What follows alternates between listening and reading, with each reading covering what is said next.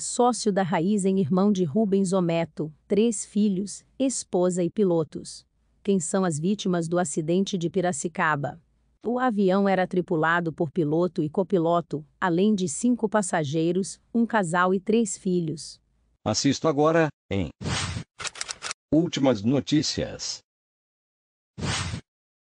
A queda de um avião modelo King Air B200, ano 2019, prefixo PSCSM, deixou sete mortos em Piracicaba, São Paulo, na manhã desta terça-feira, 14. Entre as vítimas, estava o empresário acionista da usina Raizen, Celso Silveira Melo Filho, a esposa e os três filhos, além do piloto e copiloto da aeronave. Celso Silveira era irmão do presidente do Conselho de Administração da companhia, o bilionário Rubens Ometo Silveira Melo.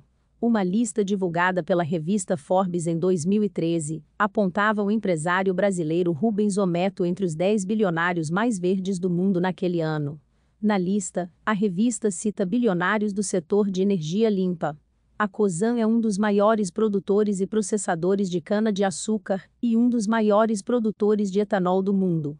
Veja quem são as vítimas. O empresário de 73 anos era economista, já participou da coordenação geral na implantação de projetos na usina Costa Pinto SA, açúcar e álcool, onde fez parte de aumento da capacidade de produção de álcool. Melo Filho exercia cargos em empresas com atividades nos estados de São Paulo, Paraná, Tocantins e Pará.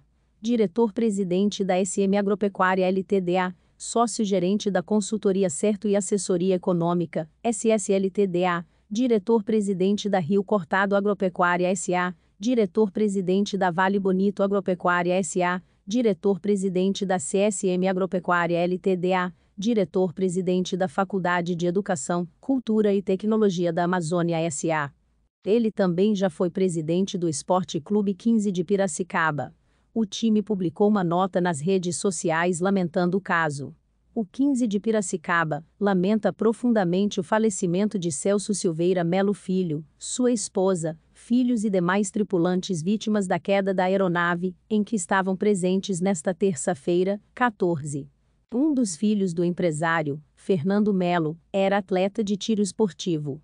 Ele foi campeão sul-americano e chegou a representar o Brasil nos Jogos Pan-Americanos de Lima, no Peru, na categoria fossa olímpica. O outro filho, Celso Melo, era piloto de autocross desde adolescente. Ele foi tricampeão brasileiro de autocross 2011, 2012 e 2017, uma modalidade que também foi praticada pelo pai, o piloto de 39 anos trabalhava há quase 20 anos com aviação. Foi comandante desde 2002 até 2008 em uma empresa. A partir de 2008, assumiu posto como copiloto em outra, e desde 2008, era comandante em mais quatro empresas. Celso era piracicabano, mas atualmente morava em Sorocaba.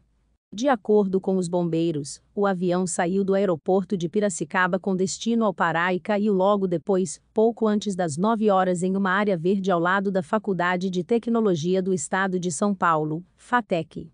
O vídeo no início da reportagem mostra o momento que o avião cai ao fundo de um condomínio. Após atingir alguns eucaliptos durante a queda, a aeronave explodiu e teve início um incêndio na mata. Segundo a Prefeitura de Piracicaba, o avião modelo King Air B200 saiu do aeroporto municipal Pedro Morganti e a queda aconteceu cerca de 15 segundos após a decolagem, em uma plantação de eucaliptos. Veja mais notícias da região no Geoma Piracicaba. Se inscreva para acompanhar a cobertura desta e de muitas outras notícias. Veja também essas outras notícias que podem ser do seu interesse.